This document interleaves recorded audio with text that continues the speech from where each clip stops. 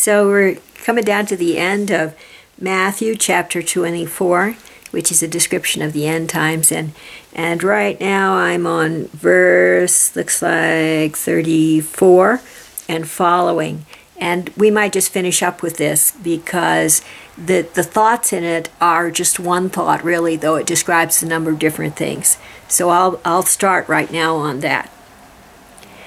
First, Christ says, Verily I say unto you, this generation shall not pass till all these things be fulfilled. Now, what could he mean by that? Because the, that generation did pass and those things were not fulfilled. Is that not so? But I don't really think, in, in hindsight, that that is what he meant. I think what he's setting up here in this last bit, in this last description, is that we must be in a state of conscious awareness of the way things are so as to know the time of, of the change, the time of the shift, and the time of the ascension. Okay? He's not, clearly, he wasn't speaking to that time in that generation. He was speaking to the awareness that we must have in order to, to successfully go through the change and, and achieve Christ consciousness. All right. That's all I have for you for that particular verse, but let's continue onward. Heaven and earth shall pass away, but my word shall not pass away. So, the world as we know it will will end, but the truth in his words will will sustain you through this change, okay? His words, his words are the important thing here and not the physical reality. But of that day and hour knoweth no man, no, nor the angels of, of heaven, but my Father only. So here he's contradicting what he said in the in the first verse there. He's saying nobody knows really what that day and hour will be. Only God knows that. God the Father. But as the days of Noah were, so shall also the coming of the Son of Man be. For as in the days that were before the flood, they were eating and drinking, marrying and giving in marriage, until the day that Noah entered into the ark, and and knew not until the flood came and took them all away, so shall also the coming of the Son of Man be. All right, so so he's saying, You be Noah, you be Noah. You be in the ark through faith in God. You be ready, okay? No matter what. But but nobody knows when the moment and the time is except for God. Okay? But so so this whole passage that we're talking about today has to do with the state of mental preparedness and faith. And to continue on, then shall two be in the field, the one that shall be taken and the other left. Two women shall be grinding at the mill, the one shall be taken, and the other left. Watch therefore, for ye know not what hour your Lord doth come. All right? So, what's he saying?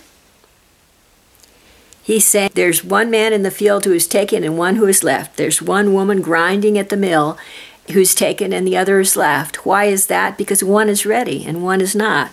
Watch therefore, for ye know not what hour your Lord doth come. The one who is who is awake and aware, okay, is the one that will be prepared. All right. It's the same same point, right? See what I mean? And continuing on. But know this that if the good man of the house had known in what watch the thief would come, he would have watched and would not have suffered his house to be broken up.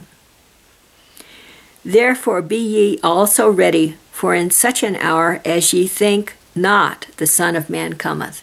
So be ready for the unexpected. You can't know the exact moment. Nobody knows, right? But, and so your house will not be broken into if you're always vigilant, right? You won't suffer a loss and upset in these days if you're ready in your mind, if you're prepared.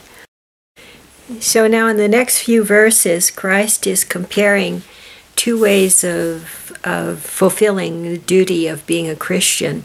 One is um, when you're given a duty to be always watchful and to be always prepared and and and um, to always serve God uh, in the capacity that your soul has agreed to so- serve in.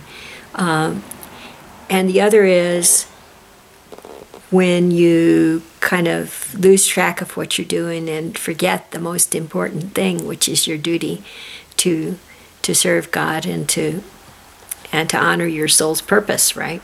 So he describes it very simply and much more vividly than I did. He says like this Who then is a faithful and wise servant?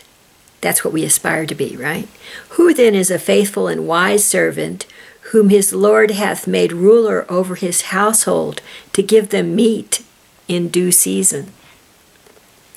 Blessed is that servant whom his Lord, when he cometh, shall find so doing. So, so there is a person who is fulfilling, fulfilling the obligation that that that he's agreed with God to do. Okay, and continually fulfilling it, even though God doesn't seem to be there, even though he feels perhaps a sense of separation from God, say during the sorrows and the tribulations, right? So, so that person is still fulfilling his duty, even though, uh, even though it seems that God is not there, that God, that he is separated from God. Okay. Verily I say unto you, that he shall make him ruler over all his goods. So, huh? This servant who's always looking out and and ready to do God's bidding and doing his best to fulfill it even though God appears to be absent. God, God really appreciates that, and He says, He shall make him ruler over all his goods. So, is this a way of saying that such a person who's united in, and aligned in will and heart and mind with God all the time that that person will be co-creating the new reality and creating a great sense of abundance in his own life? I think so yeah. Now now christ describes the opposite. He says but and if that evil servant shall say in his heart my lord delayeth his coming and shall begin to smite his fellow servants and to eat and drink with the drunken the lord of that servant shall come in a day when he looketh not for him, and in an hour that he is not aware of, and shall cut him asunder, and appoint him his portion with the hypocrites. There shall be weeping and gnashing of teeth. And that is the end of this chapter. And so, so Christ is, is giving a stern admonition about being always on the alert to fulfill our duty to God, no matter what the circumstances seem like, no matter how far God seems to be from us, and not to slack off and turn to turn away from the soul's purpose and from from our desire to to to align with God. To, not to turn away from that just because it seems like these days are very difficult. So, on that note, this is the end of that chapter, and I wish you all Godspeed and God's greatest blessing. Take care.